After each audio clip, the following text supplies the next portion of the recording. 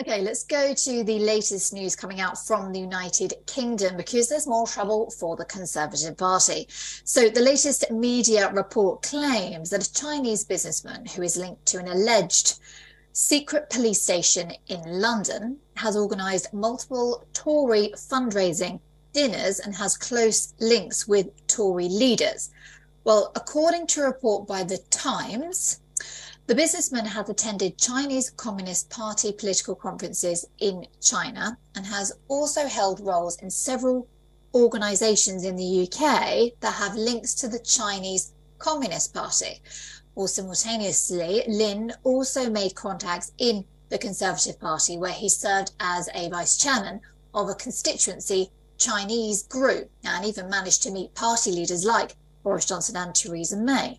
Well, Lin has repeatedly denied working for China, while adding that he has no interest in politics in both the UK and China. Lin says he only attended the events to meet potential investors. Well, in recent times, Western authorities have expressed growing concern of China's alleged efforts to influence domestic politics in other nations. Earlier, US officials have arrested two men in New York for allegedly operating a secret Chinese police station.